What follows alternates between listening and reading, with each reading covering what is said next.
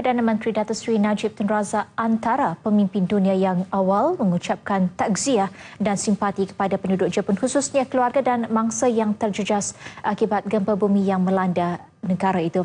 Dalam catatan terbaru Facebook, beliau mengesahkan tiada laporan kemalangan jiwa membabitkan rakyat Malaysia di wilayah Kumamoto, Jepun yang dilanda gempa bumi.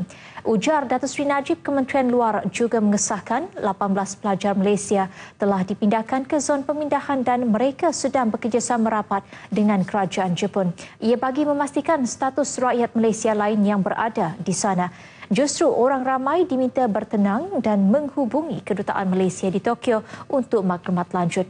Wisma Putra dalam satu kenyataan semalam mengesahkan kesemua 18 pelajar Malaysia di tiga universiti di wilayah Kumamoto selamat.